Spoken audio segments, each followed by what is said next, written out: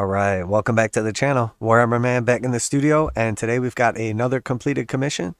This one is our Munitorum armored containers with the barrels and crates commission.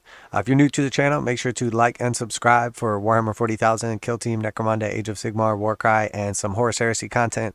All types of videos like this showing off our completed commissions as they leave the studio. And then we also do reactions, reviews, and news there's lots and lots of painting, modeling, conversion tutorials. Uh, if you want to do some magnetizations or copy a paint job that you've seen on my channel previously, uh, we have all kinds of things showing off how to do that. So make sure to like and subscribe, really helps out.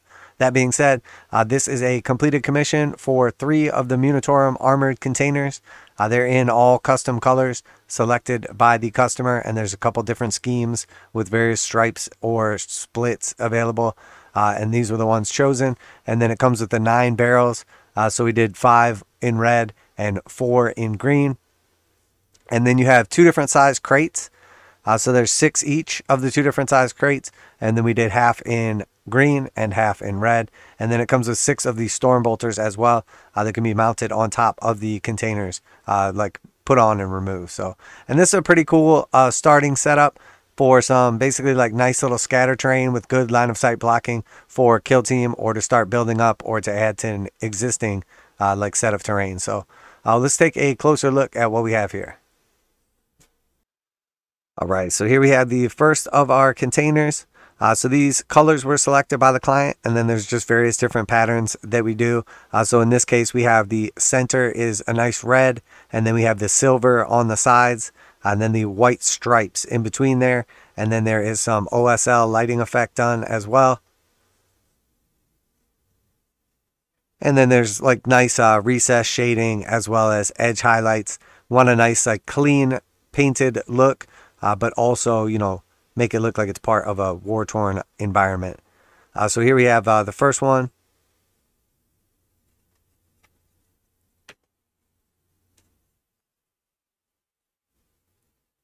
And then here's our second one. This one definitely gives me like the Dark Angels vibe to it. Uh, again, we've got like the metallic bits on there, some edge highlighting, and it's overall done in like a green with sort of a, uh, a little bit more of like an olive green kind of highlights, not like bright green, uh, but it gives a nice surface for the uh, OSL to really make it pop. Really like how it comes out. And it's cool when you do the combined technique of like hand painted, brush painted, and airbrushing, uh, really makes the airbrushing give you like that cool OSL like lighting effect. Because you're like, oh, that style stands out. There's something different there. And you're like, oh, that's a light source.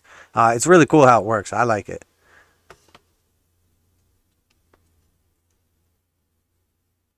And then here is the last of the containers. Uh, so this one done in a split between the yellow and blue.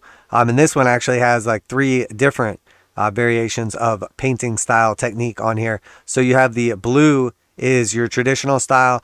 The yellow is actually contrast paint. And then we have also the airbrush for the OSL as well. So, and this one's super cool because it does combine a bunch of different like looks into one to give this cool, clean, but like war torn kind of environmental look. And then obviously the edge highlighting looks cool. The shading and recess shading and everything looks good. But uh, to tell you the truth, the OSL really pops, especially off of the blue. So uh, when it's all said and done, really nice looking pieces. And then next we've got a handful of these little barrels. Uh, they're pretty cool. They have like the eagle on one side and skulls on the other.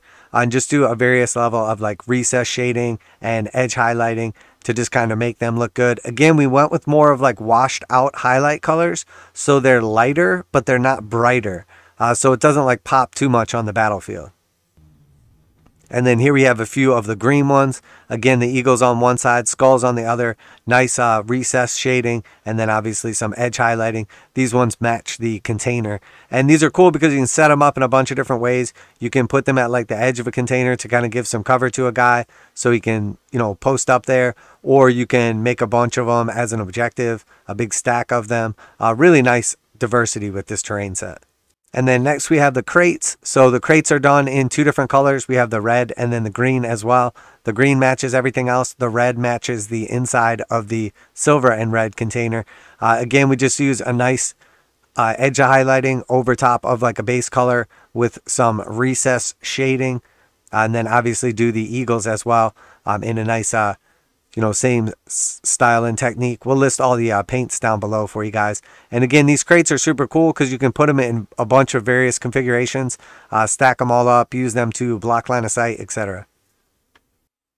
And then it's a mix of three of the larger ones and three of the smaller ones in each color. So you really get six big ones and six little ones. And again, they can be arranged in a bunch of different configurations uh, to provide like various terrain bits or just add some scatter terrain. I really like the diversity of these kits.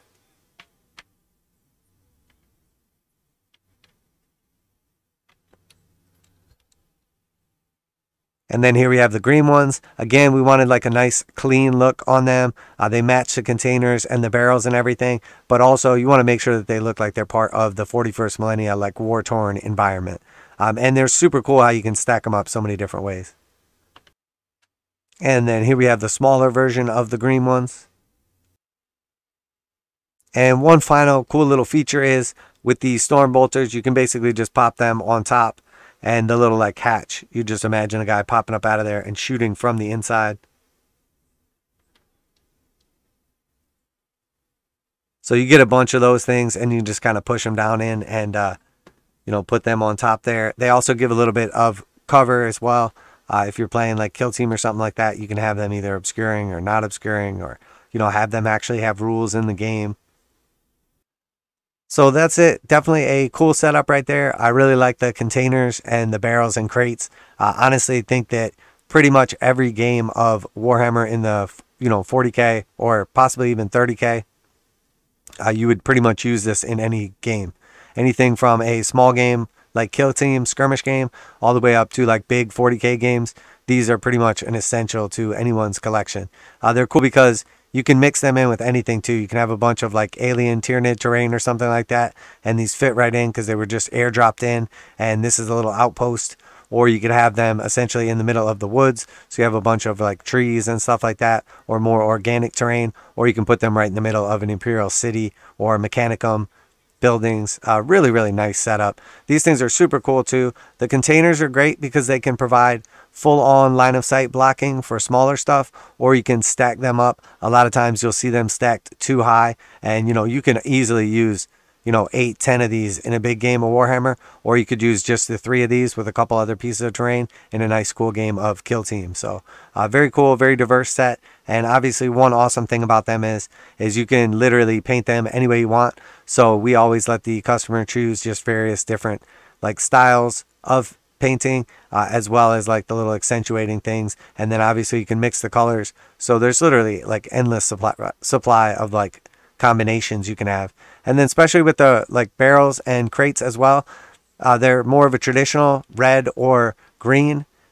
Uh, but you know, there's tons and tons of ways you could do them in all metallic colors like silver or something like that. You could do them in yellow. You could put hazard stripes on them. Uh, really cool. Just you can keep adding on to your collection uh, with more and more of these setups. So uh, definitely one of my favorite sets to do. And uh, already spoke with our client very happy for them and we're going to get them packed up safely and on the way. Uh, if you enjoyed today's video or you're curious about any of these styles, uh, how we do like the masking for the airbrushing, how we do the various shading, uh, edge highlights, what colors we used, all of that will be listed down in the description. Uh, if you have any questions that were not answered, uh, just go ahead and ask them as well. And then of course, like always, there's going to be other tutorials on how we do various things like these techniques. So you can always check those out uh, in the playlist section. So uh, that's it for today. Hopefully you enjoyed the video. If you're into Warhammer 40,000, Kill Team Necromunda, Age of Sigmar, Warcry, or Horus Heresy, if you like these type of videos showing off commissions, if you want to see how to do different types of things, there's lots of painting, modeling, conversion, and magnetization tutorials. And then also we do daily videos, reactions, reviews, and news as well. So make sure to like and subscribe. Really helps out the channel. That's it for today. Warhammer Man Studios. I'm Warhammer Man, and I'm out of here.